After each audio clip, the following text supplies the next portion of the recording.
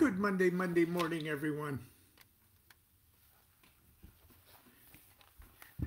I posted a few things uh, on my Facebook page. They're just uh, sort of speculations. They're, these are not uh, uh to illustrate any sort of uh, formal doctrine of, uh, of interpretation of, of what all of this means here in the Star Ruby and everything, but it is food for thought, and uh, they're like handouts that I would pass out at Monday night class uh, to get people uh, talking and thinking about these things. So, uh, but there are a, a, couple things concerning the Holy Hexagram, which uh, is the star in the Star Sapphire ritual, and uh, what we spent the last couple days talking about already. So please, uh, after you see this this morning, uh, review what I posted uh, a little further down on my page for today. But anyway, this is the ritual itself, as promised in a book about the rituals of Thelema. Liber uh, 36, The Star Sapphire, which is an AA publication in Class D. And because it's an AA publication, uh, you keep your personal comments speculative and, and uh, more or less to yourself. Crowley didn't want people to establish a doctrine or a dogma around things that are supposed to be led by the, the information by the inspiration of one's own uh, spiritual mentors. And the ultimate spiritual mentor, of course, is our own holy guardian angel. But here's the star sapphire, and then my brief, unorthodox or un, undogmatic uh, comments uh, on it afterwards. The ritual is really short. It's just like one page. And remember, I, I advise people to learn it and to do it uh, just as a, uh, a regular ritual that you would do standing up in your living room temple uh, to do it, drawing the hexagrams. Let the adept be armed with his magic rood and provided with his mystic rose. In the center, let him give the signs, the LVX signs, or if he know them, if he will and dare do them and can keep silent about them, the signs of NOx, being the signs of puer, vir, puella, and mulier. Omit the sign IR. And I believe in his own footnote to that, it's Isis rejoicing, one of the NOx signs. You omit it. Let him advance to the east and make the holy hexagram, saying, Pater et Mater Unus Deus Ararita. Let him go round to the south. Make the holy hexagram and say, Mater et Filius Unus Deus Ararita.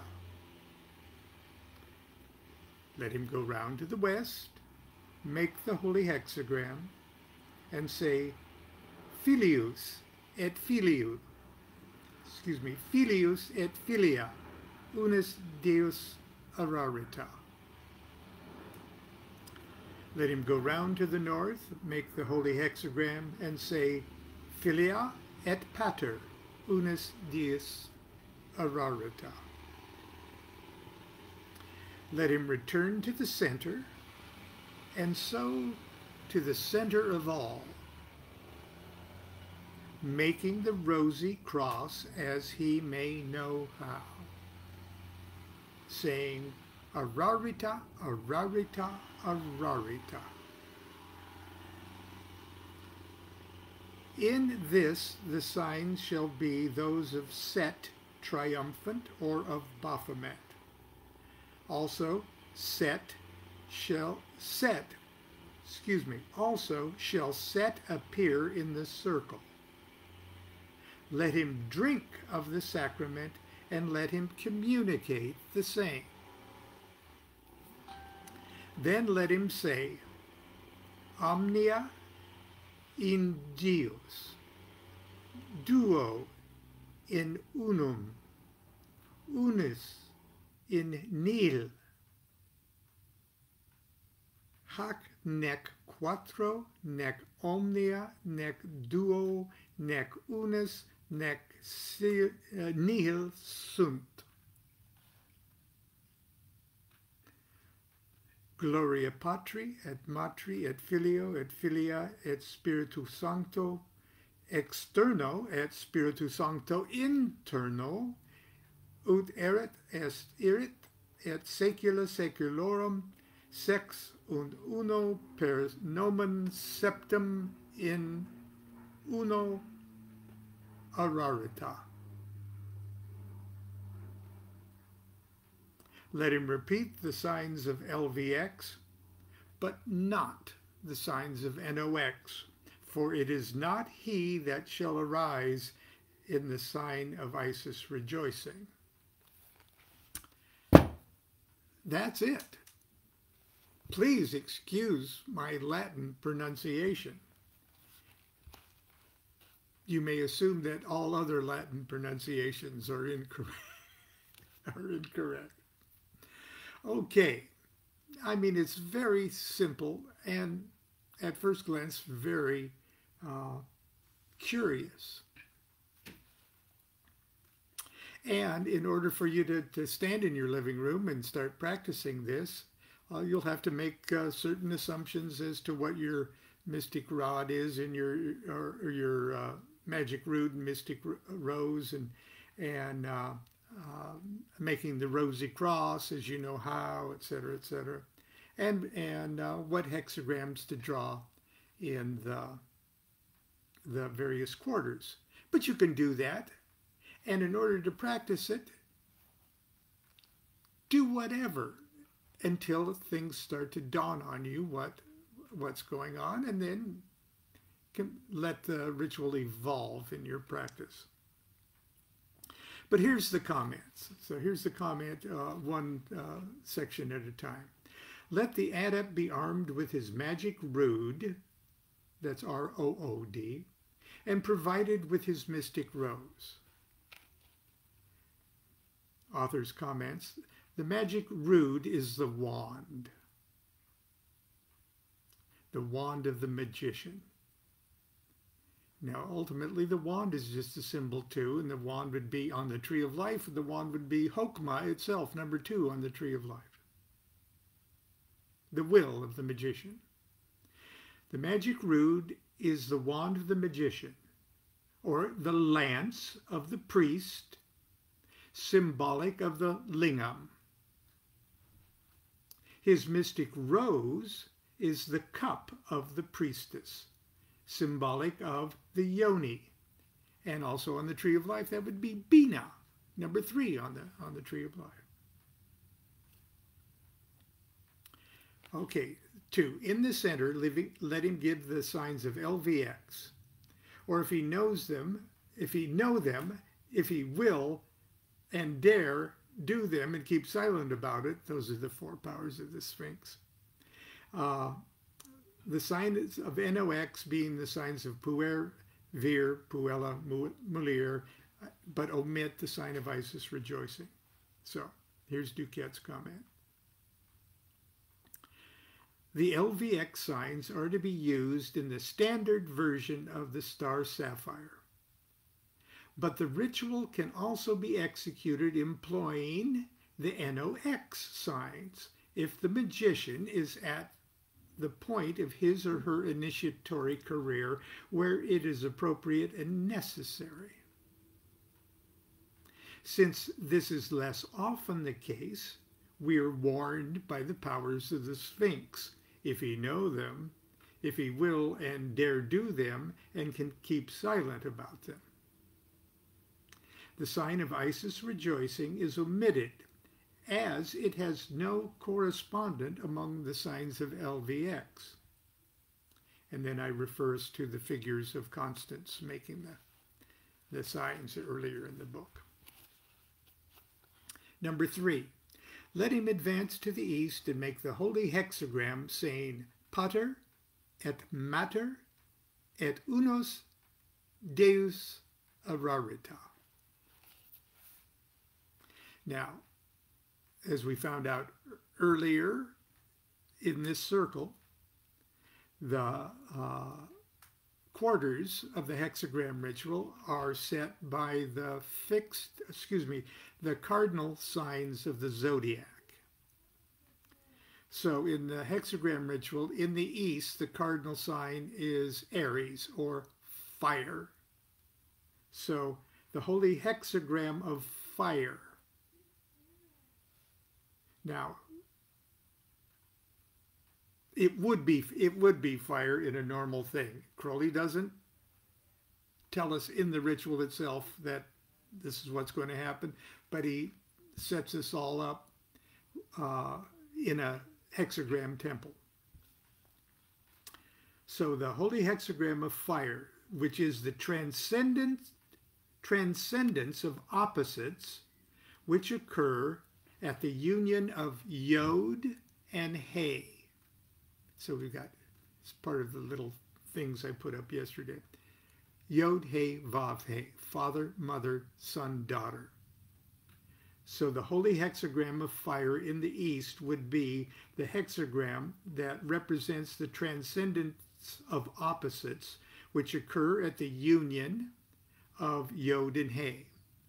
So when Yod and Hay get together, they create the hexagram of fire in the east. And you say, Pater et Mater unus Deus ararita, Father and Mother, one God ararita. So see what we're doing? Let him go round to the south. We're going uh, Deosil here. Let him go round to the south, make the holy hexagram, and say, mater et filius unos Deus Ararita. So let him go around to the south. Uh, the holy hexagram in the south would be that of earth. That's uh, like the classic Star of David in the old uh, kind of uh, hexagram. The he holy hexagram of earth, the transcendence of opposites which occur at the union of Hay and Vav. So in the east, it's the union of Yod and Hay. In the south, it's the union of Hay and Vav, mother and son. Mater et filius, mother and son. One God, Ararita. Number five, go round to the west and make the holy hexagram and say filius et filia unus deus ararita. So the, in the west, the holy hexagram is of air, and that's the transcendence of opposites which occurs at the union of the vav and the final hay. Now, there's nothing left. We've hit rock bottom of Yod He Vav He. But, like the symbol of the snake with its tail in its mouth, this is an ongoing circuitry. It's an ongoing cycle. If the hay, final hay, is the tail of the snake, then she joins with the head of the snake start the whole process over again. So in the north, do the holy hexagram of water. So that'd be water because it's it's uh, Cancer. That's how the zodiac cardinal signs of the zodiac go around. The holy hexagram of water is the transcendence of opposites which occurs at the union of the final hay and yod. So it's father and daughter, or daughter and father. Daughter and father, unus deus ararita. Daughter and father, one God, ararita. Now, on, this sounds incredibly uh, uh, incestuous and, and shocking, but on a cosmic scale, I assure you, uh, it is uh, uh, uh, not even a misdemeanor in the cosmic scale of incestuous uh, uh, power dynamics, okay? So don't worry that Crowley was suggesting that anybody uh, act these out in a uh, a rural family environment. Okay, that's not what Crowley was talking about. Filia et pater, unus deus ararita, daughter and father, one God, ararita. Seven, let him return to the center, and so to the center of all, making the rosy cross as he may know how, saying Ararita, Ararita, Ararita. The rosy cross is the union of the magic rood and the mystic rose. It can be appropriately symbolized in this ritual as the unicursal hexagram with a small five-petaled rose in the center. Another symbol that you could draw as you're learning this ritual would, would be the, the classic uh, ansata, the, the ankh. That's, that's a rose cross too. Uh, section 8, in this sign shall be those of Set triumphant and, or of Baphomet. And also Set shall appear in the circle. Let him drink of the sacrament let him communicate the same. The sign of Set Triumphant could be interpreted as the sign of Mater Triumphans. All these signs are in this book. The product of the union is then treated as a Eucharist. Part 9, then let him say, oh, here, here comes Lon's Latin again omnia in, in uh, duos, duo in unum, unus in nihil, hec nec, hec nec, quattro, nec omnia, nec duo, nec unus, nec nihil sunt. Omnia in Dios, all in two. Duo in unum, two in one. Uh, unus in nihil, one in nothingness hec nec quattro, nec omnia, nec duo, nec unus, nec nihil sunt. These are neither four, nor all, nor two, nor one, nor nothing. So what you're saying, if you want to do it all in English, all in two, two in one, one in nothingness. These are neither four, nor all, nor two, nor one, nor nothing. Then the benediction at the end, Gloria Patri et Matri et Filia et Filio et Filia uh, et Spiritu Sancto externo et Spiritu uh, Sancto interno interno uh, uh, ut erit est erit in secula seculorum sex un uh, sex un uno uh, per nomen septem in uno ararita. Glory be to the Father, and to the Mother, and to the Son, and to the Holy Spirit, without and within, which was, and is, and shall be, world without end, six in one through the names of the seven in one, Ararita. Now, I would suggest as you practice this, do it all in English or do it all in your, your the vernacular uh, you're used to. It's only fun and more powerful and more dramatic and truly more magical, though, once you know exactly what it is you're saying. To do it in a foreign magical language. You get you get a bigger magical charge eventually when you do it in Latin. But your Latin is really anemic, okay, unless you've actually uh, uh, got it burned in your brain in your own language first so you know exactly what you're saying. Finally, let him then repeat the signs of LVX, but not the signs of NOX, for it is not he that shall arise in the sign of Isis rejoicing. So, Duquette's comments are brief. The NOX signs are inappropriate at this point, for the epiphany has occurred as the result of the creation of the rose, rosy cross.